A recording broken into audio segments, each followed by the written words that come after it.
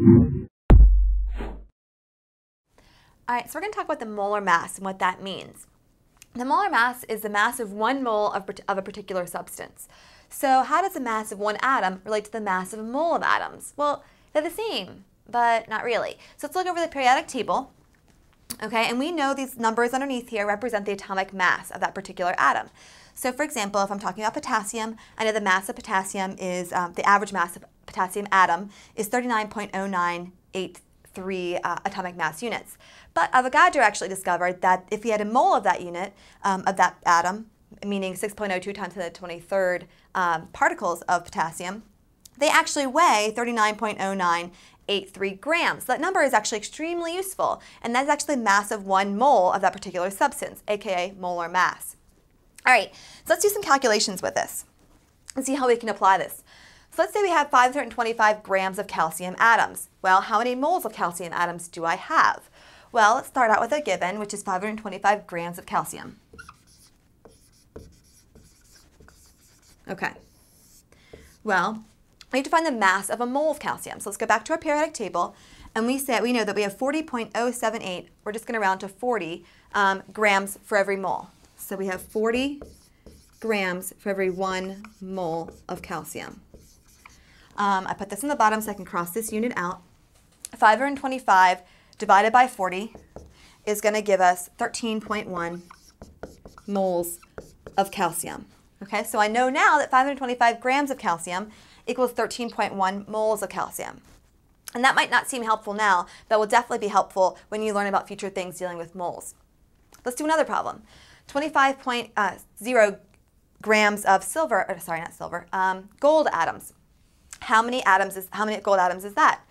Well, let's start with our given. We have 25.0 grams of gold.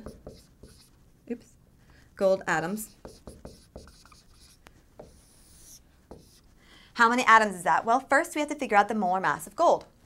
So look back at our periodic table, and we know that it's 196.9, approximately 197 grams for every one mole of gold.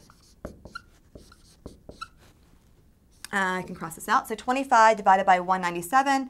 Actually, we're not quite done yet because this actually is in moles. We want to get to atoms, so we're not actually quite done.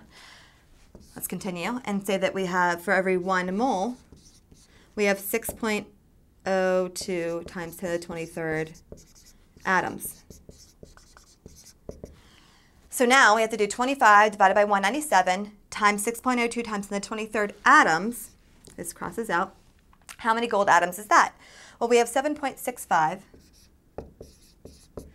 times 10 to the 22nd atoms of gold. Molar mass is very helpful. All right, let's say instead of atom, um, atoms, we're talking about molar masses of compounds. Those are actually more typically used than the molar mass of atoms. So let's say we have 2.5 moles of glucose, or, or in other words, C6H12O6. How much, how much does that weigh? Well, we have to figure out the mass of one mole of glucose. How do we do that? So we have, we have to break it up into its atoms. We have six carbon atoms. Carbon has a mass of approximately 12 grams per mole. From our periodic table, we can note that. We have 12 hydrogen atoms. Hydrogen has approximately um, the mass of one gram for every mole of hydrogen. I'm rounding a lot here, just bear with me.